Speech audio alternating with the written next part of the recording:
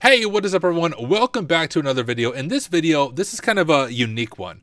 I am going to react and provide some comments on a podcast done by a group called Day Zero Security. They did a really excellent job, and from what I can tell, they highlight different zero days, different CVEs, different security things, and each week they hand select a few CVEs to really focus in on. And it just happened they chose my CVE about a week ago, the CVE I found in Ghost CMS, which is stored cross-site scripting leading to owner takeover. And they go through the blog post I wrote, they go through my vulnerability disclosure, and they provide their own thoughts as people who actually use Ghost CMS. So I listened to this briefly earlier today. I want to listen to it a little little more fully, but I'll even like pause it at different parts and give you my reaction and some of my thoughts and how I found this, things that I think they're spot on with, things that I maybe disagree with. But overall, um, hats off to Day Zero Security. No idea if you guys will watch this, but love it. You did an excellent job, I think, analyzing this and do appreciate you taking the time to do this. So without any further ado, let me share my screen. Here it is, day zero. Would encourage you to subscribe to them. I will drop a link to them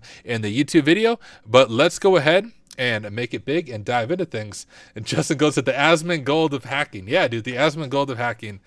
A lot less money than him, but a lot cleaner, a lot cleaner room. So it, it balances itself out. Let's go ahead and start this. First, we have a post by Rhino. Oh, it's really quiet. Let me up my audio. Security Labs on. Okay, that's nice and, and loud now. Let me know in chat if that is too quiet, but it looks like modern at OBS. It looks good. Let me let it play now. On a Ghost CMS stored XSS, and this was a. You guys see that? Tyler Ramsbey, what's up? Stored XSS in the profile image functionality, which is kind of a funny area to have it, reminiscent of some of the very old like forum attacks and whatnot getting a bit. Yeah, and that's one of the things you'll notice when you study uh, cross-site scripting. What they're going to point out, what I pointed out, is this through a profile image. So I think about the old forums, not just profile images, but you'll even see this on certain threads where people like trying to embed HTML in the comments. That used to be a thing that you can embed HTML and JavaScript in a comment, and when users view it, it would execute. But this is also similar, if you remember, uh, for the Counter Strike players, Counter Strike went through this whole fiasco where they were vulnerable to cross-site scripting in the username field, and when you vote kicked a player, it triggered the cross-site scripting. You couldn't do a whole lot, but with cross-site scripting, you could at least get IP, so you could get IPs and essentially dox other people you were playing with. That's all the same core vulnerability of cross-site scripting then into the background, they talk about the varying privilege levels. So in Ghost CMS, for those who haven't used it, you do have levels like contributors, who can write posts but not publish them, authors, editors, admins, and owners, which are essentially super admins that can't be deleted and can access billing information. And each user can set a profile picture, which can include standard image formats like PNG or JPEG, but also SVG, which, yeah, as they say, it's a good place to look for XSS issues. And in the case of yeah, and here's the unique thing: if you are a web uh, developer, I don't really see the point of accepting SVG uploads for profile pictures.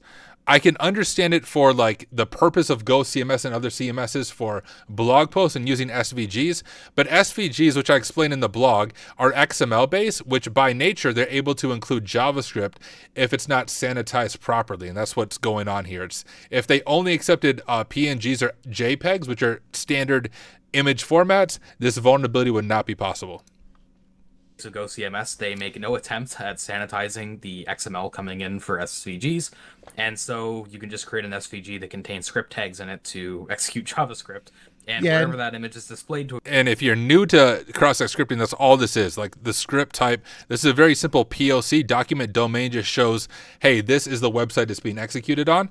This isn't malicious right now. This is just a very standard POC to see if you can execute JavaScript. Victim, they can access them. So yeah, that's kind of it was something I noticed when I was going through the topics this week. This is a simple XSS, straightforward XSS. I, I imagine most of our listeners are familiar with this tech. But in all of our episodes of Day Zero, I don't think we I think we've only talked about like just a direct SVG with XSS in it once. I think it's only come up once and it was in a crypto topic, like cryptocurrency smart a little bit of context here. Doing actual pen testing i see this pretty often. I would say i've seen this anywhere from four to six times in the past year on web app pen test where cross-site scripting via svgs are possible. So this is something to look for if you're a web app pen tester or doing bug bounties. Contract stuff? Kind of ha- and most of the discussion was around the crypto aspect and not the xss and so i just kind of felt like you know we should at least mention this once over the entirety of the podcast. Appreciate it. Is a very common vector to get access through images when they support SVG, which generally I would argue just probably don't support SVG. I agree. Don't do it. You kind of have to sometimes. I mean, I get it. Companies do, but then you want to filter for the script stuff. Ghost do. doesn't. They do not. But yeah, the only kind of novelty here in my mind was that and vendor response, which I guess I can, or actually, I guess escalation, but you can get into that, Spectre. Yeah, so we talked a little bit about this before the show. So what they call out as a potential attack here is if the owner of the site gets caught by this, which is very likely, you know, with profile images where they're displayed in a lot of different places, they could use the XSS to admin role their own user and then transfer ownership to them. And while and just one clarification here that's not the only attack vector. When I created this, I wanted to figure out like what is the the most severe attack I could do. And the most severe attack I could do is going from a contributor, the lowest privileged user who can't even um, publish their own post, to taking over the owner of the tenant. But that's just what I demonstrated. With cross site scripting, you can do a lot more than that. So actually, I could target any other staff user. And if they go to my image, I could update their email. I could change their email to me. I could facilitate account takeovers that way. So in my blog, I highlight the most severe case of this, but generally speaking, when you can execute JavaScript in the context of another user session, you can do a lot of stuff, um, a lot of bad stuff. Well, in order to do this, they would need like the user ID, email, and admin role IDs, which are randomized. They could just send a request to this API admin users API yeah, so what I did, it is randomized, but I wrote a Python script. You can see this in the GitHub. If you just execute the Python script with your user, uh, the attacker's user, and the attacker's password, and then the host of the ghost uh, CMS you're attacking, it will actually dynamically generate everything that you need and spit out a malicious.svg file that will lead to owner takeover. So I automated the entire process with that Python script. Endpoint after being authenticated to get all that information. But so Ghost does support inserting raw HTML into posts. Uh, Z and I kind of checked this out because I wasn't sure. I couldn't remember the limitations on this. So we use Ghost a fair amount. I don't really use the raw HTML personally in, in posts that I've done. But um, yeah, wasn't sure if you but... could include like script tags and stuff, but you can. So you can like if if somebody has the capability to write posts and publish them, then and if you if you miss the blog, Ghost CMS is used by Apple, Mozilla, OpenAI. So a lot of big organizations use Go, Ghost CMS. This isn't like some minor uh, CMS nobody's heard about. They kind of already have the ability to do XSS, which is why the vendor probably doesn't view it as a valid vector.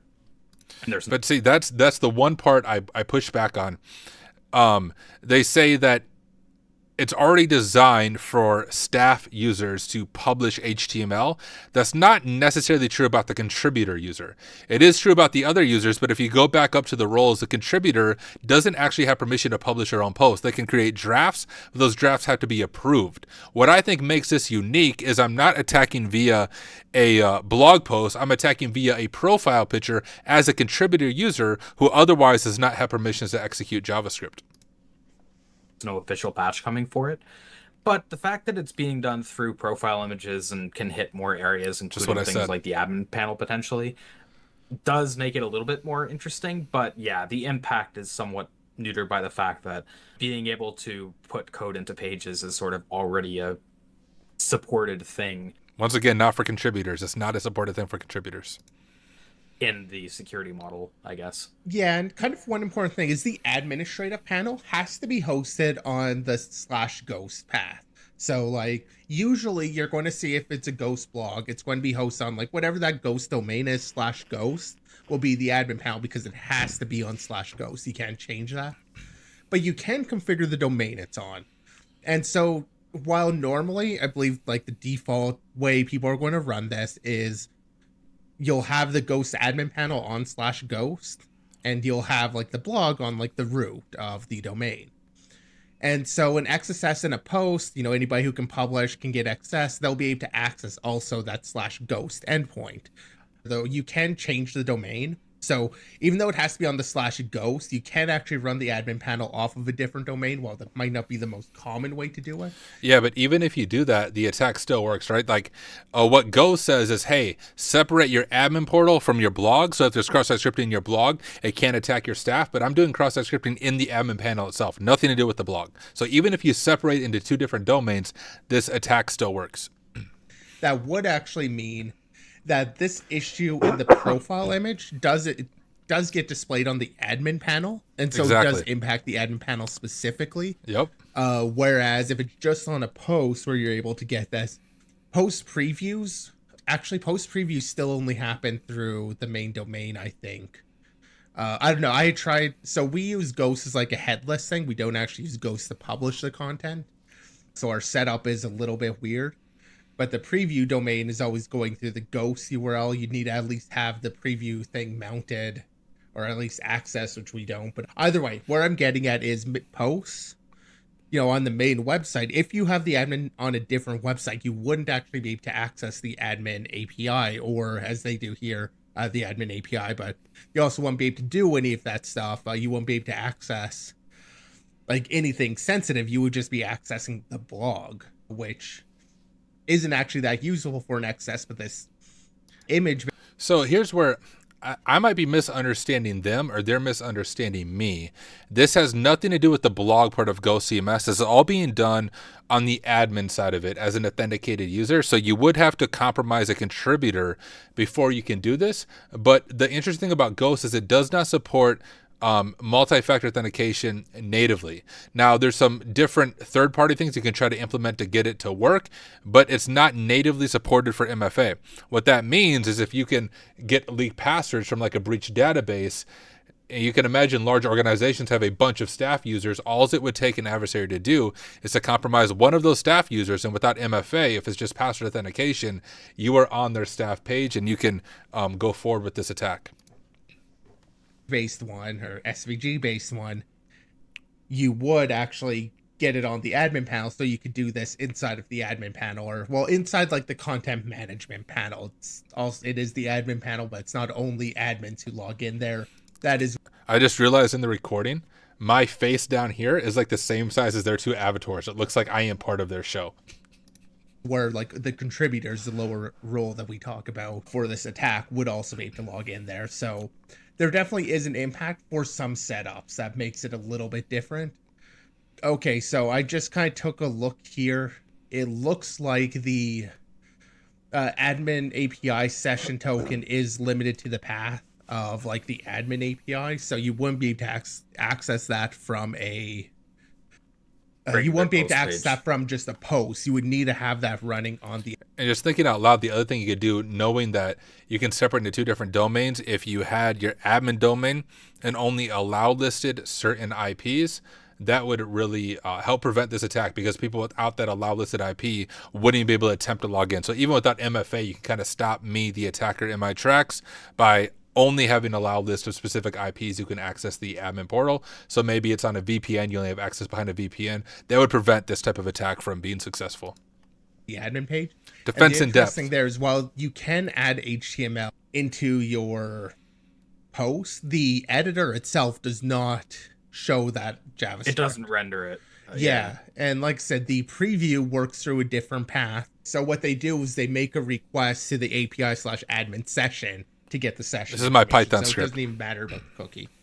You just need to know what the domain is for the U uh, for the um for the control for panel, the for control the... panel. Yeah, control yeah. panel is a better term than I've been saying. Is admin panel. Okay, so I was talking a lot about that cookie and stealing that, but you just yes, you don't have access to it at all. Although if the admin panel is on a different page, you can't uh, make requests to like if it's on another domain you can't make requests to this i'm not sure if this is what they're getting at but you can't steal the cookie anyways because the cookie has i believe the secure flag set in http only so you can't steal the admin cookie with cross-site scripting anyways which is why i demonstrated a different kind of attack not stealing an admin cookie but rather doing a full account takeover on the owner So yeah, you still have the impact uh, because it's running in the admin panel.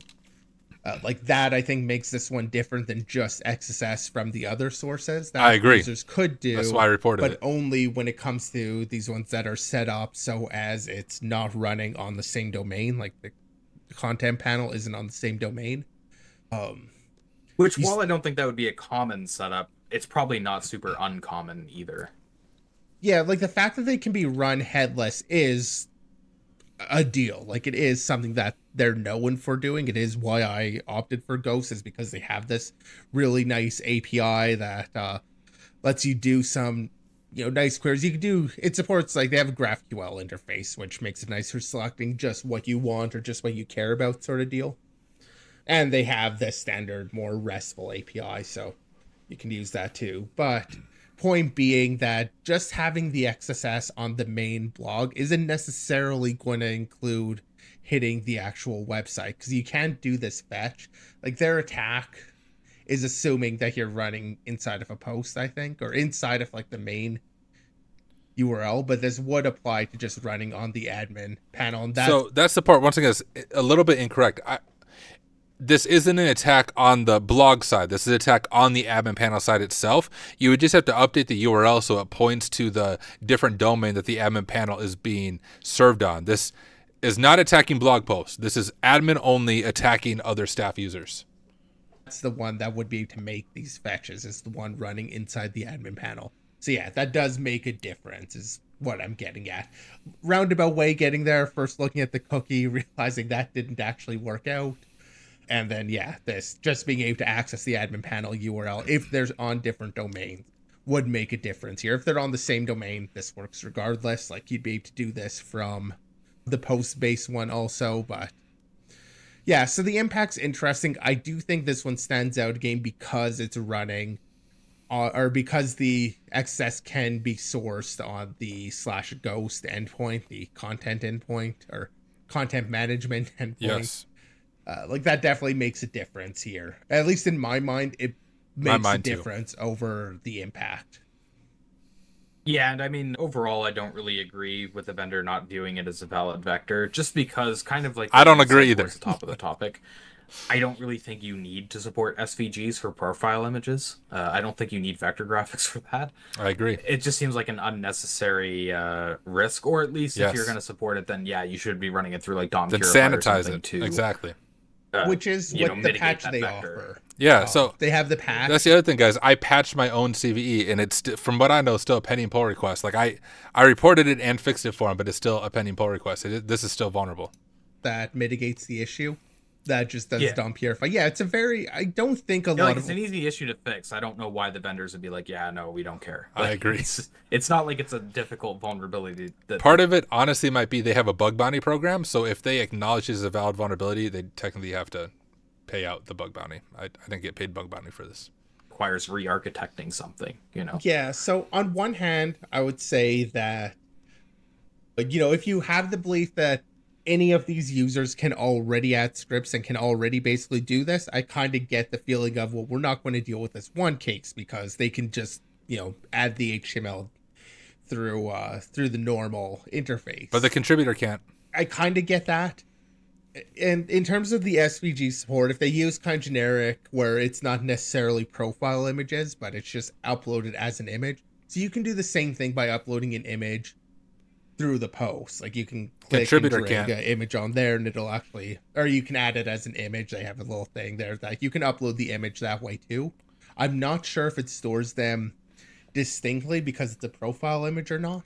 So actually, it stores it in the same way, but my patch fixes it on both. So my patch sanitizes SVGs for profile images as well as in blog posts. So my patch actually fixes the cross-site scripting in both instances that they're talking about. I don't think it actually does. Like I think it's just their standard upload supports the SVG.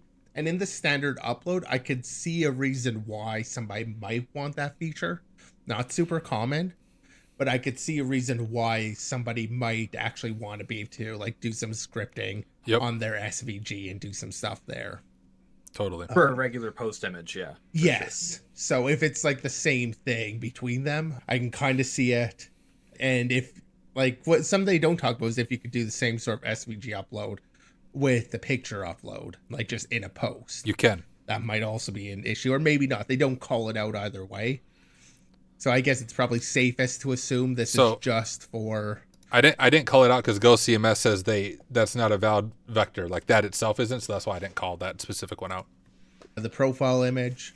But again, that also comes down. The profile image will land inside of that content panel. Either way, like I don't know. I guess it comes down to perspective. Like I could understand a perspective on why it wouldn't get patched. I would too. rather see the security. I patched it myself, just though. not have the insecure. I'd actually agree. rather see them also strip content by default, like strip script tags out of your content by default, and then allow that to be enabled. Yeah. Having that sort of option that would be That's a, a bit good more call. That is a default re-architecting. deny.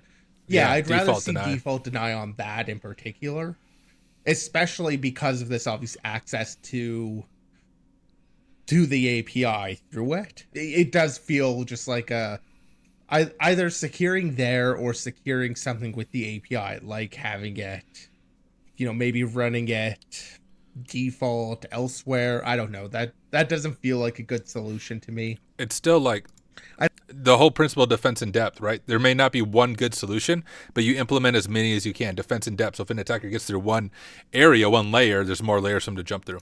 I have to think about it a little bit. Make the attacker's job with hard, Another right? thing about needing to go through. Well, then you maybe need tighter sessions. I could see some things with session management, perhaps like keeping short sessions, so you know they'd have to be logged in at the time, but and like ensuring credentials. So you have like I think MyBB does it where you log or PHPBB does it where you log in every time you want to access the admin panel. It doesn't like store it for very long. Sure. The other thing would be like any major changes to the account to require re-authentication. So if transferring ownership required the owner to re-authenticate with their password, this would fail because I can't I don't know their password. I can't pass their password in the JavaScript. So just requiring re-authentication on things like email changes and um, ownership changes, if you require re-authentication, that would also be a defense in depth layer to prevent this from happening. maybe something along those lines you know could be used to mitigate it a bit but they're not not perfect solutions i don't know i'm just kind of talking right now about i didn't think about this beforehand there are some options but Basically, there's some defense in depth that could be Yeah, uh, employed for go, that's key. situations like this, and I think it would make sense to take steps like that. But ultimately, you know, it's up to uh, the Ghost Foundation. So yeah they've they've made their choice and i think their choice is defensible i don't agree with it but i think it is at least defensible because these I are fairly would be fairly privileged people Yep. uh, yeah, Like you're generally not inviting random people to be contributors on the blog. You might take a post from them. But that's where I think like the the uh, compromising an account since MFA is not enabled natively. I think it is realistic that like if I was tagging targeting an organization, let's say at um, contoso.com, like the classic one, you could easily look up at contoso.com in a breach database and do some password spraying. If you could compromise an account, you could pivot into this attack vector. Um, and then maybe like add a user and just post like giving them credit for it, but not actually letting them into the whole blog system. It does feel somewhat privileged off, so I understand the perspective. I disagree, but understand. Appreciate that. All right, so getting I into our too. next vulnerability, we have one detailed by Emmett Shen. All right, there we go. So that is their reaction to my CVE and, and my reaction, my response to it. I want to say a huge thank you to Day Zero Security for taking the time to even cover the CVE, to share your thoughts, to give some of your own expert feedback and analysis of it. I learned a lot just by watching and listening to your podcast. And once again, thank you. Hopefully, those who are watching this video uh, got a little more context about the CVE, the reason I reported it, and some defense in depth things that you can implement not only in Ghost CMS, but some concepts on how you should apply defense in depth to whatever application you are doing. If you're on the blue team or if you're a developer, there's never a magic bullet that fixes everything, but rather thinking of as many defensive in depth layers as you can and implementing all of them. So if an attacker gets past one layer, they can't get past the other thing. And your job is just like make the attacker, the pen tester's job, really, really difficult because they'll give up and go to a low hanging bug instead of targeting your org. So think about defense in depth and how you can implement it. So, hey, hopefully you found this video helpful. I will see you in the next one.